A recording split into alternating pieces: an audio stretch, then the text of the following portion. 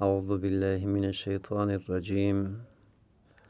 بسم الله الرحمن الرحيم.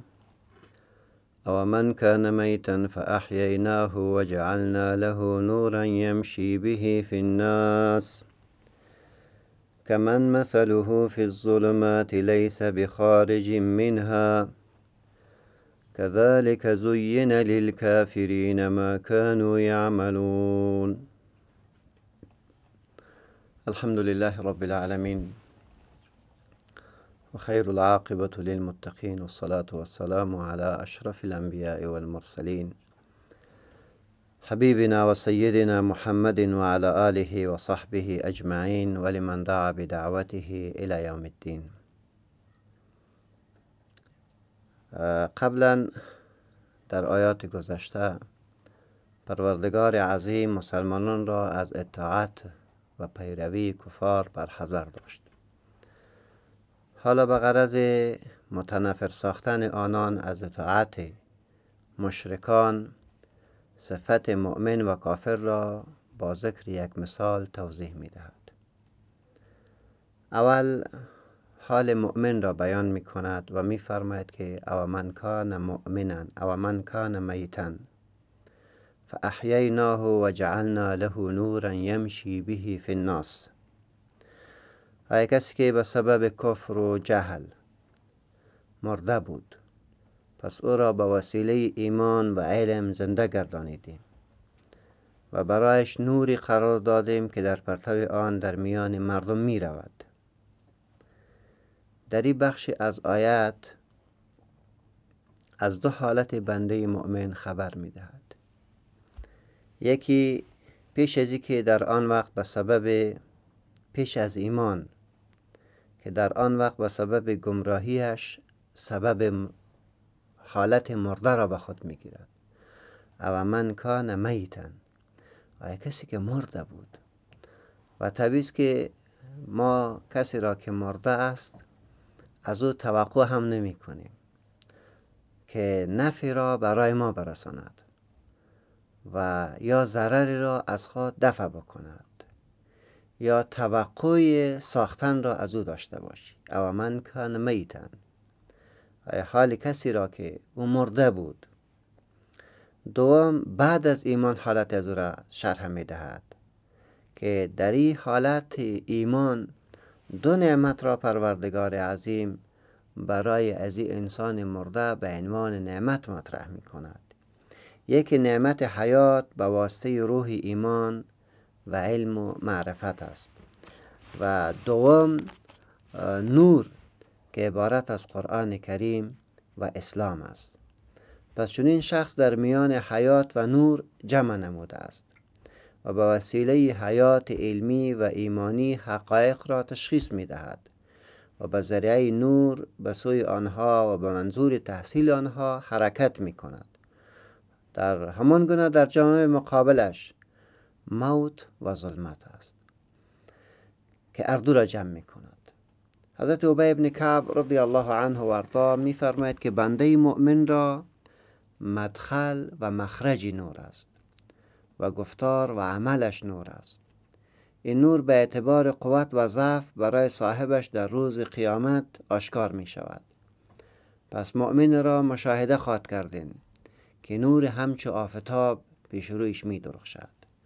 مؤمن را خواهید دید که نورش مانند محتاب خواهد درخشید و هر کس به اندازه قوت و ضعف ایمانش درخشندگی نور خود را در روز واپسین خواهد گرفت. پس او من کان میتن پس کسی که کسی که به سبب کفر و جهل مرده بود فاحییناه و ما آن را زنده ساختیم. به چی زنده ساختیم؟ به نور حیات و معرفت. دو چیز را برش دادیم. اول حیات را الله برش می دهد. چیزی که زنده است او در حقیقت می خواهد که هر آنچه که برش ضرر رساند از او خود را دور بکند و دفاع بکند از کیان حیات خود. و کسی که زنده است زنده بودن او را فرا می‌خواند به ای که قدم های استوار را برای رشد خود برای بودن زنده بودن خود و برای خدمت برای خود و جامعه خود قدم ها برداشته کنند. پس قرآن چی زیبا میگه؟ او من کان مایتن فاحییناه. ای کسی که مرده بود و ما او را زنده ساختیم. نتیجه چی می شود ما او را زنده ساختیم. یعنی هر آنچه که داری لطف پروردگار بر بالای تو شده است و سر خودت حساب نکن. کسی که در پرتو رحمت الهی مشرف به اسلام شد و کیان حیات خود را حفظ کرد که من مثله فی الظلمات لیس بخارج منها همانند صفت کسی است که در تاریکی ها واقع است که از آنها بیرون شدنی نیست. تویست که استفهام انکاری جواب در خود کلمه است. خود کلمه می که نه برابر نیست او کسی که زنده است و در روشنایی به پیش می رود. اما کسی نیست که او مرده است و نه از خود دفاع می کند و نه می تاند که به خود و به دیگران راه را برساند و راهنمایی بکند. پس در تاریکی های بس شدید و متراکم مانند تاریکی شب تاریکی باران تاریکی فضا و قطرات پیهم این کلش با هم یک جا می شود. راهی را نمی‌تواند ببیند و راهی را نمی‌تواند تشخیص بدهد. چرا؟ چرا این رقم است؟ زیرا ظلمت عقیده کفری دارد. شرکی دارد. ظلمت اعمال فاسد دارد. ظلمت درک اندیشه دارد. پس همیشه کافر در تاریکی است. همیشه بیدین در ظلمات و در بدبختی به سر می‌برد سپس سوال وارد می شود کسی که کمترین اندیشه داشته باشد چگونه به خود میپسندد که در میان چنین ظلمات زندگی بکند؟ زیرا قرآن کریمی را گفت که کسی که مرده بود ما او را به نور معرفت زنده ساختیم آیا این انسان هم مانند کسی است که که من مثل فی ظلمات که همیشه در تاریکی های جهل و کفر و شرک و بدبختی می باشد جواب سوال تو وارد می شد که اگر چونین انسان کمک عقل داشته باشد می‌خواید ای تاریکی باشد؟ جواب میمیست که نه نمی‌خواهد. از کذالک زین للکافرین ما کانی عملون همان گونه که ایمان در نظر مؤمنان آراسته شده. همچنین در انظار کفار اعمال زشتی که انجام می‌دهد او برش آراسته شده است. بنان امی کفر را در حقیقت برای خود نیک میپندارد. و فکر می‌کند که امی خوب است و ای بر مصالح است. شیطان هماره اعمال ناشایسته کافران را در انظارشان نیکو جلوه می دهد و این سبب می شود که کفر را به عنوان یک شی نیک جهت رسیدن به اغراض و شهواتشان او را بپذیرد. الله می فرمد و زین لهم الشیطان اعمالهم فصدهم عن السبیل و کانوا مستبصرین. در سوره مبارکه انکبوت آیه 36 این پیام را به ما می دهد شیطان برایشان اعمالشان را در افکارشان آراسته ساخت. در دلشان برشان آراسته پس آنها را از راه راست باز داشت در حالی که چشم بینا داشتند و از رهنمایی پیغمبران خوب با خبر بودند. پس می بینیم در این آیت آیا کسی که مرده بود و ما او را به نور معرفت زنده ساختیم؟ همانند کسی است که او در تاریکی به سر می‌برد. جواب همیست که نه برابر نیست. پس چرا انسان می‌خواد تاریکی بوده باشد؟ به خاطر از که کذالک زین للکافرین ما کانی یعملون. امان گونه برای کافرها شیاطین اعمال ناشایسته ایشان را برشان زیبا جلوه می‌دهد. دوستای عزیز می‌خوام در این باب یک نقطه را تذکر بدم که ما یک شیطان داریم. که مخلوق است دشمن ما. و خدا هم به ما میگه فتخذوه عدوا انما یدعو حزبه لیکون من اصحاب السعیر شیطان را به عنوان دشمنی بپذیرین و قبولش بکنین زیرا شیطان می‌خواند شما را که جمله از جمله اهل آتش بوده باشید.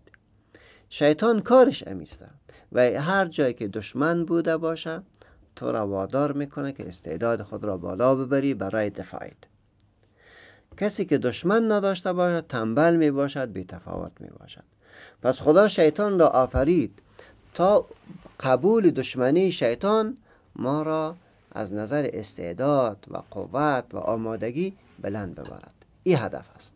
پس کسی که گفت که من شیطان دشمن ندارم او مردم در رفعت شعنشان و گرفتن امنشان و پیشرفت استعدادهایشان کار نمی کند پس شیطان را الله آفرید تا اعمال زشت را در انظار یک انسان جلوه بدهد. حالا تعلق می‌گیرد به هدف بودن انسان که چقدر هدفمند است. اگر هدف عالی داشت پس پیروی می کند از حیات و از نور که قرآن کریم است. الله متعال بحث دیگری را هم در آیه بعدیش مطرح می کند و کذالک جعلنا فی کل قریت اکابر مجرمیها لیمکروا فیها. همان گونه که سرمداران اهل مکه را را که گناه پیشگان آنان تشکیل می دهند همچنین در هر شهر بزرگانی را ما اوجا از مجرمین قرار دادیم تا با نیرنگ بپردازند و صد راه دعوت الهی شوند. یعنی یکی از بزرگترین اسباب انکار جامعه بشری چی است؟ که بزرگای مجرم در سر کار بوده باشد. این کلانای مجرم که شود در حقیقت شیاطین انسی اند. اما تو که شیاطین جنی مانع راه حق می شود بزرگان شیطان صفت دیگری که در جامعه و قدرت برسن اونا هم یکی از بزرگترین عامل شکست انسانان صالح در قبول عمل صالح است یا در فکر صحیح است الله می فرمد و کذالک جعلنا فی کل قریت ایتو نیست که هیچ زمان هیچ زمان هیچ زمان شما نخواد دیدین که در اوجا شیاطین انسی وجود داشته باشد. در هر شهر در هر مکان وجود دارد. چرا ای وجود دارد لیم کروفیها تا با نیرنگ بپردازند در او سرزمین و در او مکان. نیرنگشان یکی از وسایل امتحان الهی برای بشریت بوده باشد. می و کذالک جعلنا فی کل قریت اکابر مجرمیها جعلنا در اینجا به معنای سیرنا است. یعنی که متعدی به دو مفعول می شود سیرنا دو مفعول می خواهد مفعول اولش اکابر مجرمی هاست و مفعول دومش فی کل قریتن است. یعنی چی؟ تقدیرش تو میشه که جعلنا اکابر مجرمی ها فی کل قریتن ما قرار داریم بزرگترین سردمداران مجرم را فی کل قریتین در هر قریه در هر قریه یک انسان شیطان صفتی است که مانع حق می شود. هر کار حق پیام حق عمل حق را که ببیند تعویل باطل برش می دهد. هیچ وقت حق را تایید نمی کند. هیچ وقت حق را تایید نمی کند. یا ای که اکابر مفعول دوم است به غرض اهمیتش مقدم ذکر شده است و مفعول اول مجرمی هاست که تقدیرش اتو می شود. جعلنا مجرمی ها اکابره در این صورت فی کل قریت متعلق به جعلنا می شود. یعنی مطابق این تفسیر الله متعال در هر قریه در هر قریه امون مجرم هایش را کلان برای اون مردم می سازد. گناهکارایش را کلان به او مردم می سازد که وقت سیادت به او برسد در حقیقت زمینه عذاب مساعد می شود و خداوند متعال در این آیت در حقیقت یک سنت تغییر ناپذیری را برای بندگانش بازگو می کند که همان گونه که ریاست شهر مکه به سردمداران قریش دادیم که مردم را به سوی دلالت و مخالفت به اصلاح فرا می‌خوانند در انبیای گذشته هم اموتو بود. در هر شهر یک مجرمی بود که مانع دعوت الهی بود. عین شکلش در سرزمینی که شما زندگی می‌کنین و حیات دارین اتو فکر نکنین که دیگه مجرمی وجود نداره. اتو فکر نکنین که مانع در راه حقتان وجود ندارد پس در پهلوی شیاطین جنی شیاطین انسی شیطان صفت هم وجود دارد. از این خاطر پروردگار ما برام میگه که و اذا اردنا ان نهلك قرية امرنا مترفيها ففسقوا فيها فحق عليها القول فدمرناهم تدمیرا و ما هنگامی که بخوایم شهری را هلاک کنیم عیاشان و ثروتمنداران بدبخت و ظالم را بر آن سرزمین سردار می‌کنیم و حاکم می‌سازیم این سردمداران فاسق از تمام قدرت خود استفاده می کند به چی؟ با گمراهی و عیاشی و دلالت و بدبختی و ظلم. وقتی که چونین کار می‌کند مردمی که زنده ان اگر اونها از زندگیشان در پرتو نور الهی در دفاع و مقابله نخیزند اعمال زشت اونها سبب می شود که ما این قریه را از بیخ و بند برکنیم و نابودش بسازیم. پس چقدر زیباست قرآن کریم تعبیر می‌کنه که کذالک زوینا امی رقم ما برشان آراسته ساختیم توسط شیاطین جنی راهی که باید غلط بروند. در پهلوی از او انسانان مجرم دیگری هم وجود دارند که اونا هم در مقابل دعوت الهی همیشه ایستاده می‌شوند و ایره به پیش می‌برند. سپس واضح می سازد که نیرنگ و نقشه های شیاطین این مکاران و پیغمبران ما هیچ آسیبی نمی رسند و دعوتگران ما هیچ آسیبی نمی رسند بلکه همه ضرر آنها برای خودشان است. و ما یمکرون الا بانفسهم و ما یشعرون. و در حقیقت نیرنگ نمی کنند مگر در حق خویشتن و دومی که و نمی‌دانند و ما یشعرون و نمی‌دانند زیرا گناه و وبال ما مکر و نیرنگ و گمراه سازیشان همه و همه به ضرر خودشان است. چنانچه الله متعال در سوره مبارکه نحل آیه 36 هم همین موضوع را یه تو زیبا مطرح می کند قد مکر الذین من قبلهم فاتا الله بنیانهم من القواعد فخر عليهم السقف من فوقهم و اتاهم العذاب من حيث لا يشعرون بیگمان کسانی که پیش از ایشان بودند. اونا هم نیرنگ ها کردند در مقابل دعوت الهی. پس الله زندگی آنها را از اساس ویران کرد از اساس ویران کرد و سقف خانه از بالایشان سرشان بر سرشان فرود ریخت و عذاب از جایی به سراغشان آمد که اصلا نمی‌دانستند. اصلا خبرم نبودن و الله آنها را نابود ساخت. پس معنا چی شد؟ اگر شیاطین انسی مقابله با پیغمبران و اهل حق بکند ای را باور داشته باشین قد مکر الذین من قبلهم. پیش از اینها هم دیگه شیاطین صفت های بودن که مقابله با دعوتگران می کردن ولی فعت الله بنیانهم من القواعد. الله اساس خانهشان را از بیخ و بند برکن پس ای مسلمان ای موحد ای دیندار اگر تو امروز هم با چالش ها روبرو میشی با مشکل روبرو میشی با دایه های باطل روبرو میشی ایر ایمان داشته باش که یک سنن طبیعی الهی است. ولی باور داشته باش که دشمنت خامخا زبون است. و شکست می‌خورد. چون این سخن از مکر و نیرنگ های مجرمین به میان آمد. اکنون در آیه یکی از نمونه های مکر و حسد مجرمان را به ما شرح می دهد و اذا جاءتهم آیتون قال نؤمن حتی نؤتا مثل ما اوتی رسول الله و چون به آنها دلیلی بیاید گویند ایمان نخواهیم آورد تا آنکه داده شویم مانند آنچه را که به پیغمبران الهی گذشته داده شده است. فقط او را دیگه به ما بدین. یعنی هنگامی که آیات الهی برای آن مجرمان تلاوت شود آنان را به سوی ایمان دعوت می دهد آن مجرمان در جواب چنین می گویند. یعنی ایمان نمیاریم. تا که نؤمن حتی نؤتا مثل ما اوتی رسول الله. در این منظور ای آیت که باید منصب رسالت را به خود هم نصیب بکنند ای پیش میرن.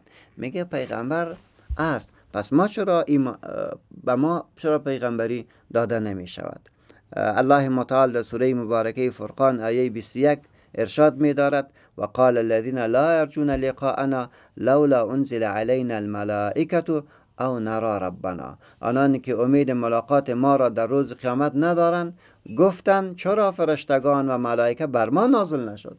که به محمد نازل شد. و به ما باید نازل می‌شد. چرا به ما آنچه که به پیغمبرای گذشته داده شده به ما داده نشده است. او نرا ربنا ای که پیغمبر ما الله به ما چنین دستور داد چرا ما پروردگار رو نمی‌بینیم؟ پس ما باید ببینیم. ببینیم مجرمین چقدر ادعای باطل را می‌کنند. یعنی به تعبیر دیگر هرگاه حق برش داده شود به خود هم با وصفی که مرده است و جاهل است ادعای چنین حق را می‌کند. به ما باید نبوت داده شود. به ما باید کلام حق داده شود و ما ممثلش بوده باشیم و شارحش باشیم. در سوره مبارکه مدثر آیه 52 الله می‌خواند بل یرید کل امرئ منهم ان یؤتا صحفا منشره بلکه هر کسی از ایشان می‌خواد که صحیفه های سرگشاده به او داده شود. یعنی کلگی پیغمبر باشد. اتو فکر می‌کنن. وقتی حق را برش بگویی باز میگه که خیلی ما دیگه ما هم اتو میگیم یعنی این انسان های شیطان صفت را شما در امروز هم مشاهده می‌کنین. انگامی که دین مطرح شود قضیه دینی برشان بازگو شود باز میگن که به نظر من اینطور است. شما را زیاد مشاهده می‌کنین. برای که پرسانش بکنی که توی چی کار هستی که نظر میدی؟ این سوال دیگه میگه که وای من انسان نیستم.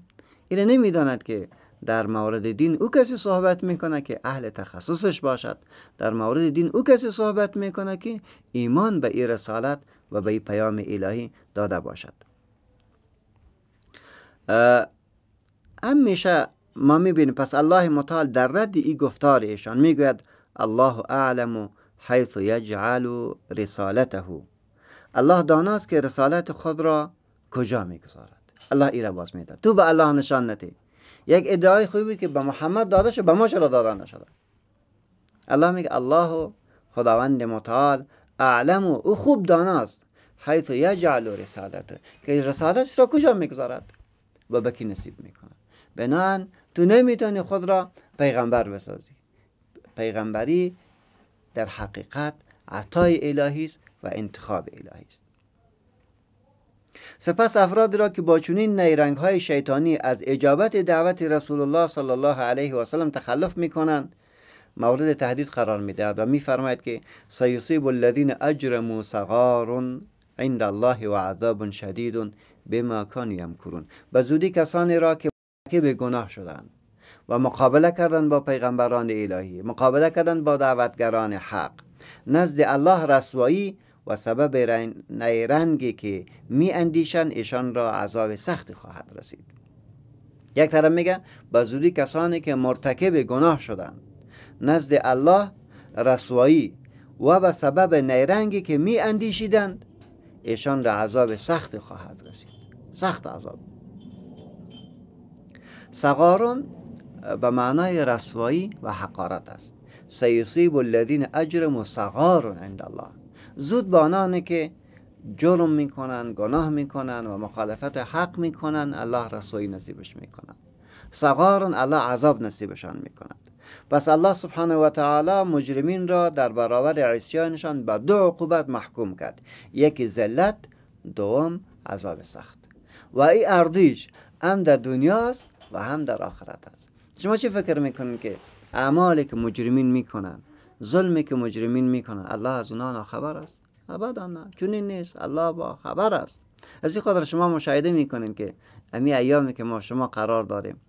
یعنی طوفانی که در آمریکا به اساس ظلمی که او حکومت می‌کند تجاوزی که بر حریم مردم می‌کند باور بکنین او را به عنوان عذاب نه فکر نمی اگر متوجه شوند عذاب است که از اتم کده قوی تر بود. از اتم کده قوی تر بود. خداوند متعال های خانهشان را بر سرشان انداخت یا ننداخت. شهرشان را سقوط داد نداد. بدبخت شدن نشدن. این کلش در حقیقت از این خدا وقد مکروا مکرهم و عند الله مکرهم و ان کان مکرهم لتزول منه الجبال فلا تحسبن الله مخلف وعده رسوله ان الله عزیز ذو انتقام. آنانی که نقشه می‌کشند. دوست که خدا از نقشه آنها بی خبر بوده باشه الله غافل نیست از اعمال ستمگران بلکه برشان مهلت می‌دهد. و وقتی که روز رسید چنین عذابش می‌دهد که ما شما مشاهده کردیم. ای کاش که اینا با کمکی بصیرت می‌دیدن و فکر می‌کردن که چرا خداوند متعال چنین سرشان ساخت. و نمی‌تونه که را با, با توپ و تانگ ای عذاب الهی را استاد بکنه. با تکنولوژی استادش بکنه. با کمراهای استادش بکنه. با تیره های بی پیلوت استادش بکنه. الله چنین عذاب را برشان نازل می‌کند و از بیخشان بر حقیقت قطع می‌کند. قضیه دیگری که الله تبارک و تعالی در اینجا باز هم مطرح می‌کند مسئله هدایت و زلالت از جانب الله متعال است. در آیه گذشتگان کافران ایمان خود را با آوردن معجزات همچون معجزات پیغمبران الهی وابسته کرده بودند. میگه ما ایمان نمیاریم تا امی معجزات به ما داده نشود. و ما ایمان نمیاریم تا با خدا صحبت نکنیم. ما ایمان نمیاریم تا این کار نکنیم.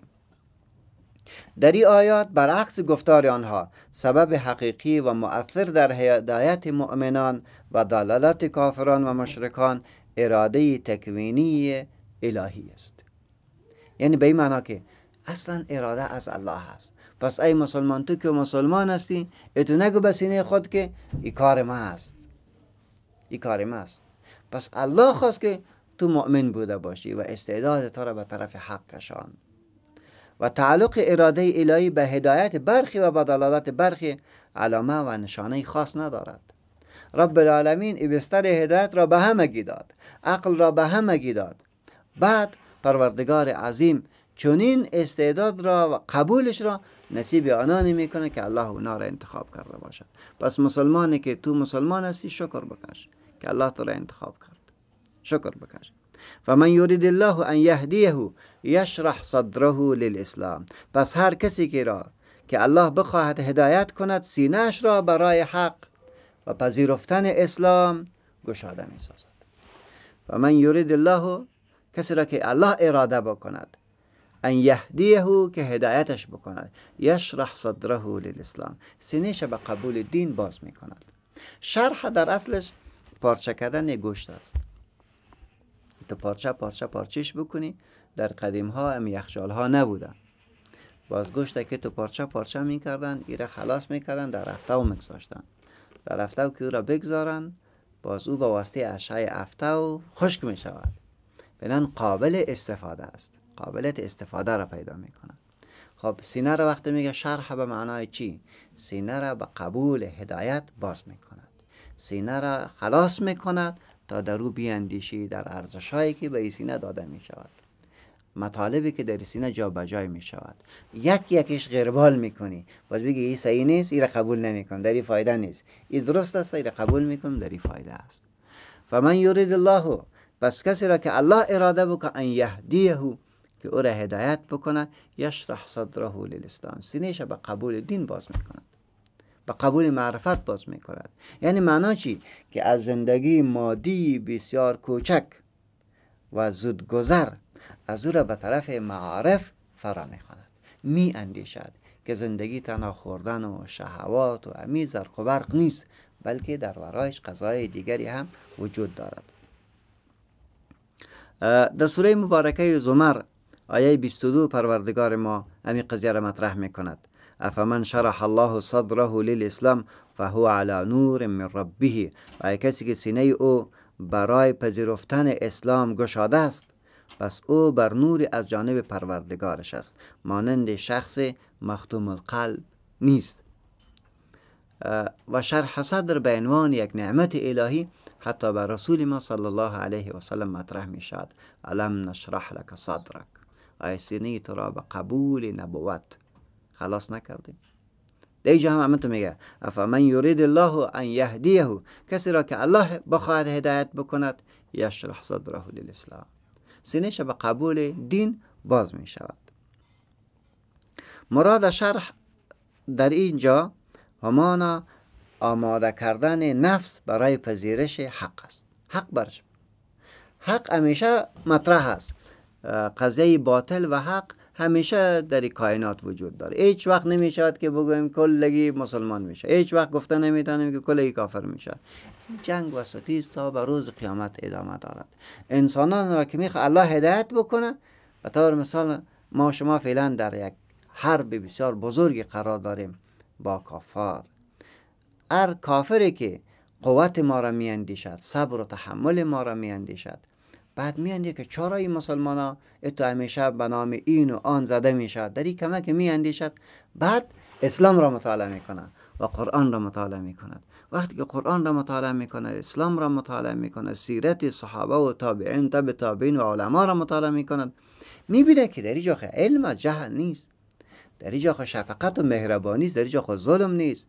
در اینجا خو عدالت است در اینجا خو قضایایی است که من فراموشش کرده بودم. یشرح صدره للاسلام. الله سینش یک بار به قبول دین باز می‌کند. یعنی ما جالب است که هفته گذشته در یک مجلس قرار داشتم که دیدم یک خواهر ما که از امریکایی بود و استاد بود در پوانتون حربی.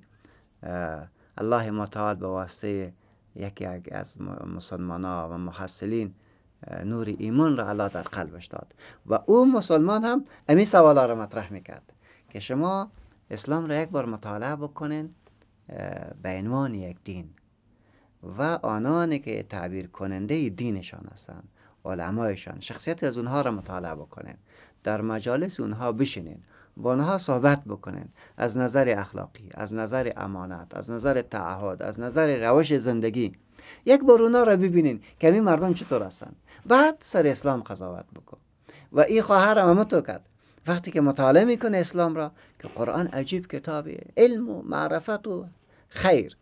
با مسلمانایی که اونها دانش دارن و فهم دارن و علم دارن میشینن از هر لحاظ مردم های متفاوت اونها را می‌بینن. یشرح صدره الاسلام الله سینیش برای قبول دین باز می‌کنن یعنی انسان یک کمک وقت بدهد بعد می‌فهمن که حق چی است و باطل چی است. پس مراد از نور نور هدایت است. نخست در انسان شرح صدر به وجود می آید یعنی شرح صدر چیز یک مطالعه.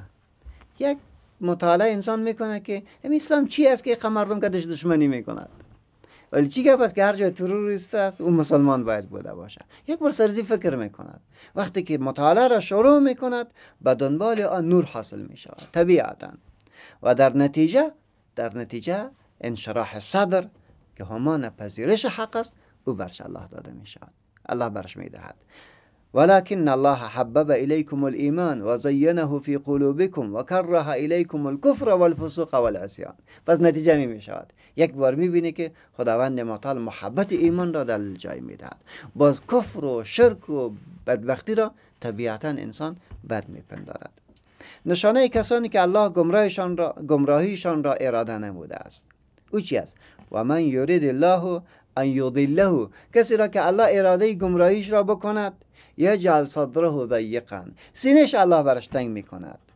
ضیقا حرجا که انما یسعد فی السماء سینه او را بگونه تنگ می سازد که گویا در آسمان بالا می شود اما قبر سخت تمام می شود یعنی اولین چیزی که انسان را بدبخت می سازد که تو تفکیر را از تو می گیرد تعمق را از تو می‌گیرد. چرا را از تو می‌گیرد؟ امیر از تو می‌گیرد. وقتی که چرا نگفتی بدبختی به طرفت میاد حرجن بسیار تنگ. نافع یکی از آدما و حفاظ قرآن کریم است. او حرجن را به کسره را یعنی دیگه حرجن خوانده است. در این صورت حرجن صفت مشابه می باشد و در صورتی که حرجن بخوانیم این سیغه مصدر خوانده می شود.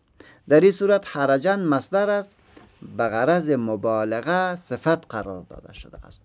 حرجن بسیار سخت و با تکلف مثل که در آسمان بلند می شود. و ذکر حرجن به غرض تأکید معنای دقیقن است. حرجن دقیقن به سختی و به سخت مشکلات مثل که بالا برود. سعدو در اصلش یتسعد از باب تفاعل است.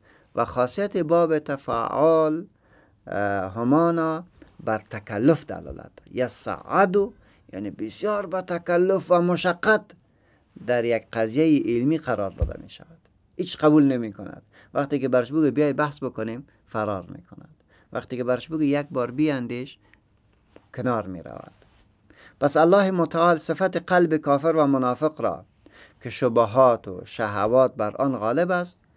و از پذیرفتن کلمه توحید کنار می رود به تشابه می دهد به مشابهتش می کند در سوره مبارکه اسراء در سوره مبارکه حج در سوره مبارکه صافات در سوره صاد زمر غافر این حالت های گوناگون را برای ما شما شرح می دهد یک مسلمان اگر می‌خواین که بفهمید که چرا مردم کافر هستند و چرا دین را نمیپذیرد به خاطر اینی صفتشان است. الله متعال بعد از تطبیق سنت گذشته سنت دیگری را بر آنها تطبیق می دهد کذالک یجعل الله الرجس علی الذین لا یؤمنون. نتیجه عدم قبول حق و نتیجه نبود تفکیر گرویدن به حق چی می شود؟ آخر چی می شود؟ کذالک یجعل الله الرجس علی الذین لا یؤمنون. همین گونه الله شیطان را بر کسانی که ایمان نمیارند باز مسلط می کند یعنی کسی که اقلا به خود اجازه نمی دهد که در قضایای بزرگ او اندیشد و همیشه طرفه می رود همیشه کنار می رود و به حق گوش نمی داد خداوند متعال شیطان را بر مسلط می کند شیطان را الله برش مسلط می کند رجس در اینجا به معنای شیطان است. یعنی خداوند متعال کسایی که فکر نمی کند تحقیق نمی کند یجعل الله رجس علی الذین لا یؤمنون. همیشه پروردگار عظیم شیطان را بر اونها مسلط می کند شیطان که برشان مسلط شد پس شیطان برش دستور می‌دهد که چی انتخاب بکند کجا برود کجا بشیند و همیشه و زین لهم الشیطان عملهم همیشه خوب میگه تو خیلی خوب هستی. اگر قتل می‌کنی امی خوب است. اگر بدبختی را ایجاد می‌کنی امی خوب است. اگر ناامنی را ایجاد می‌کنی امی خوب است. اگر حقوق دیگران را سلب می‌کنی امی خوب است. پس می‌بینین که وقتی که شیطان مسلط شد کارهای زشت را زیبا برش جلوه می‌دهد. یا مراد از رجس عذاب است. یعنی دوم معنی. کذالک امین طور یجعل الله رجس الا قرار میده عذاب خود را. علی الذین لا یؤمنون. برای که ایمان نمیارن. بنان در سوره مبارکه اعراف آیه 71 و سوره مبارکه یونس آیه 100 معنای رجس و معنای عذاب است. پس الله متعال یا عذابشان می‌دهد و یا که شیطان را بر سرشان مسلط می‌کند و یا که اردو می شود یعنی در یک مرحله شیطان همراهشان است که گمراهی و دلالت و بدبختیشان را بالا می‌برند. در یک مرحله دیگر با چی می‌شد مورد عذاب الهی قرار میگن که نابود می‌شود. در آیات گذشته حال دشمنان اسلام را بیان کرد. نتیجه هم واضح شد که خداوند متعال خامخا نابودشان می‌کند. کذالک رجس علی الذین لا یؤمنون. پروردگار عظیم عالی به منظور ترغیب به قرآن کریم ترغیب به اسلام و بیان حال مسلمانان. قرآن را به عنوان سرات مستقیم که است که پیروانش آن را, پیروانش آن را پذیرفته است تعبیر می کند که ایره بدار سلام و می فرماید که و هذا صراط ربک مستقیما این راهی که به تو بیان شده توسط پیغمبران الهی. این راه راه مستقیم است. و هذا صراط مستقیم. همین راهی که برای تو بیان شد این راه مستقیم است.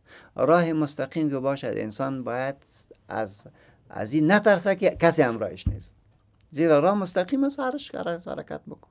بینایی در اوجا وجود دارد. پس اشاره به سوی حاضر ذهنی است که عبارت از اسلام است. و هذا صراط ربک مستقیم. این اسلام یگانه راه مستقیم پروردگار است. برو سرش. و دوم می‌شد که مراد قرآن کریم بوده باش. هذا اشاره به سوی چی باشد؟ حاضر حسی باشد. و هذا صراط ربک مستقیم. امین قرآن راه مستقیم پروردگار توست. پس چی که وقتی که راه پروردگار تو است پس این را باید بپذیری. و قبولش بکنی. بدون چون چرا باید قبول بکنی؟ قرآن کریم جای دیگری هم اشاره می کند که و علی الله قصد السبیل و منها جایر به خداوند متعال تعلق می‌گیره بیان راه راست.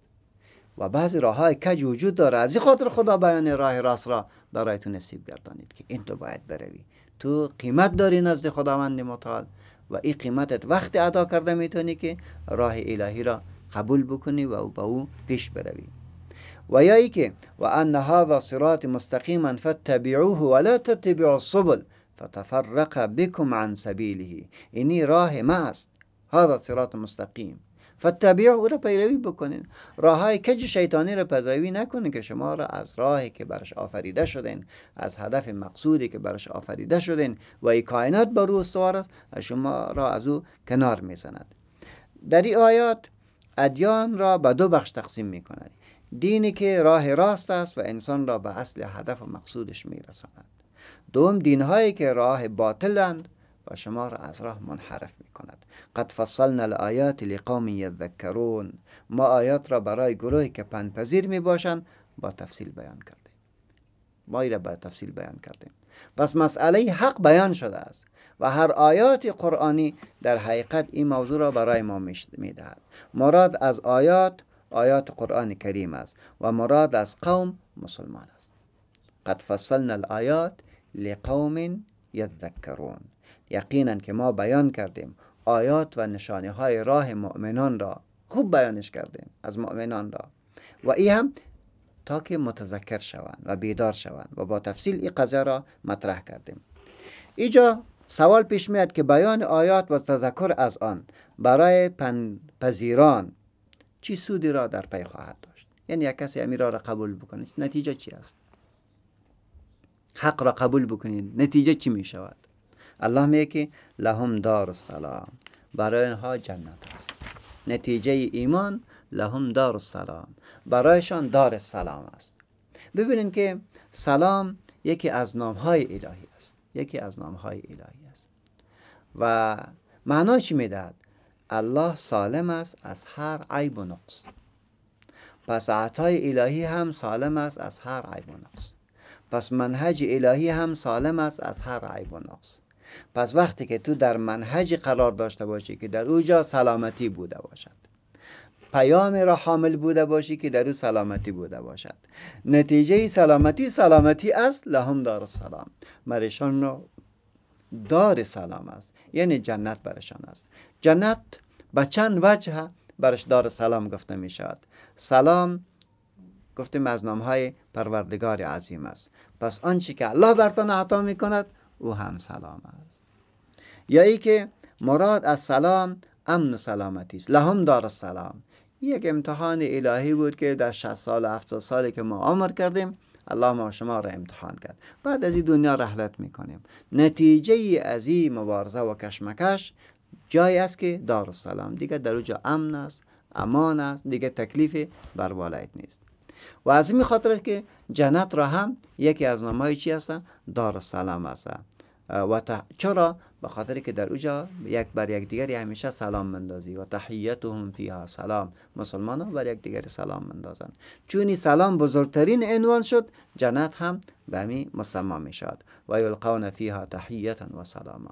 به یک دیگری همیشه پیام سلام را انتخاب می کنند یا ای که ملائکه کرام همیشه این قول را میگه سلام علیکم طیبتم فادخلوها خالدین. ملائکه میگه سلام بر شما باد.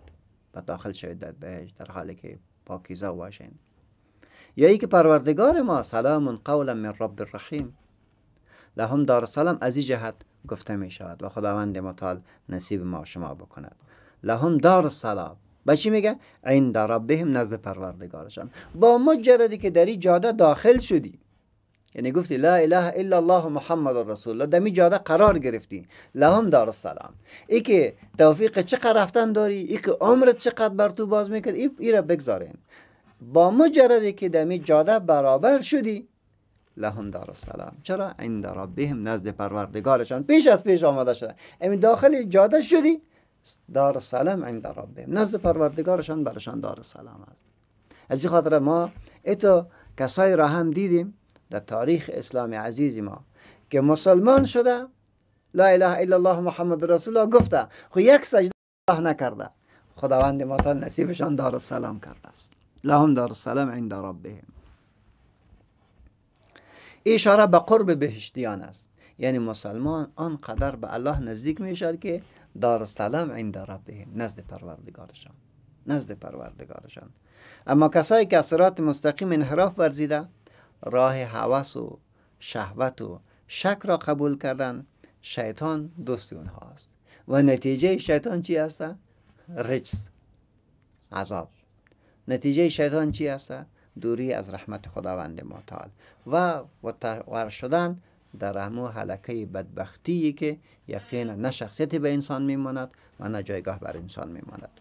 خداوند متعال ما شما را هم توفیق نهایت بکنه. تا پیام الهی را بگیریم. و به دار السلام خود را برسانیم به اعمال صالحه. سبحان ربك رب العزة عما يصفون وسلام على المرسلين والحمد لله رب العالمين اللهم اغفر لنا ذنوبنا وإسرافنا في أمرنا وثبت أقدامنا وانصرنا على القوم الكافرين اللهم أعنا على ذكرك وشكرك وحسن عبادتك وتلاوة كتابك آناء الليل وأطراف النهار لعلك ترضى اللهم إنا نسألك بحرمة أسمائك الحسنى وبحرمة كل اسم هو لك سميت به نفسك أو علمت أحدا من خلقك لا تدع لنا ذنبا إلا غفرته ولا هما إلا فرجته ولا دينا إلا قضيته ولا مريضا إلا شفيته ولا ميتا إلا غفرته ولا حاجة من حوائج الدنيا والآخرة إلا قضيتها يا رب العالمين. وصلى اللهم صل وسلم وبارك على محمد وعلى آله وصحبه أجمعين.